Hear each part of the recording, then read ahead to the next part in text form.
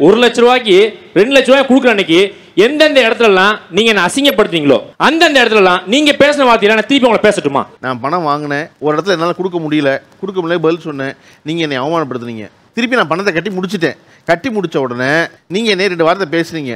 பதிலுக்கு நான் அந்த வார்த்தையை உங்களை பேசலாமாங்கிற கேள்வி மட்டும் தான் கேட்குறேன் அண்ணே இதே நீங்க சொன்னீங்களா ஒரு லட்ச ரூபா வாங்கினேன். இப்போ ரெண்டு லட்சமா திருப்பி கொடுக்குறீங்களா அந்த ஒரு லட்ச ரூபா வாங்கி நீங்க ஒரு காரோ பணமோ வாங்கிட்டீங்க. நீங்க நிறைய அந்த அந்த நாங்க கொடுத்த காசை வச்சு நீங்க ஏதோ வச்சுட்டீங்க. அப்போ உன்னால தான் பாச்சு நான் நீ கூட கொஞ்சம் வச்சுக்கன்னு சொல்லி கொடுப்பாரா? கேளுங்க. ஒரு லட்ச ரூபாய்க்கு நீங்க கொடுத்தீங்க வட்டி அதை நான் திருப்பி தானே கொடுக்குறேன். நீங்க உங்களுடைய நீங்க பண்றது தொழில். அதை அவர் சொன்னார்ல வட்டிக்கு நான் பணம் கொடுத்து நான் பத்தாயிரம் வட்டியால வாழ்ந்தேன் பத்தாயிரம் உண்மை. பத்தாயிரம் வாங்குறதுக்கு நீங்க வீட்டுக்கு வரீங்கல்ல? ஆமா. ஒரு வாரம் டிலே ஆகுதுன்னு சொல்றீங்கல்ல?